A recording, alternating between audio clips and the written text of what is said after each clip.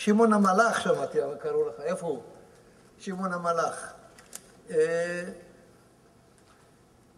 הארגון הזה הוא בעצם בימים הציניים והקשים שאנחנו חיים בהם, הוא הוכחה שיש תקווה, ויש לב יהודי, ויש לב רחום, ויש נכונות לתת כתף.